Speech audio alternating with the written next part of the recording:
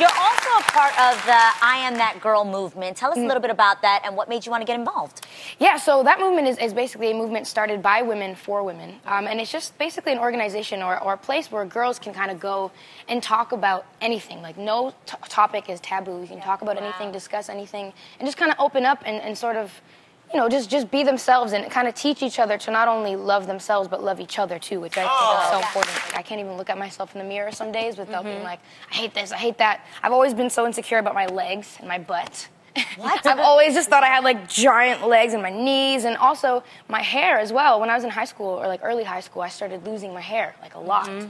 I don't know exactly why, but it was oh. just the most insecure yeah time of my life because it was just so noticeable and you know your hair is like a comfort blanket for Yeah, people right? Yeah. so it was it was a big deal for me and um, i think just overcoming that and sort of learning to come to terms with that and realizing like this is who i am i think that's really helped. And i'm not perfect yet but i through doing this and through speaking to other people i think it's helped me